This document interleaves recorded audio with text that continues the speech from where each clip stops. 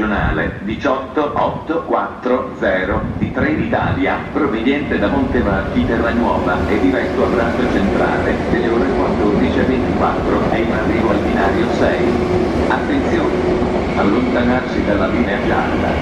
è in tutte le stazioni.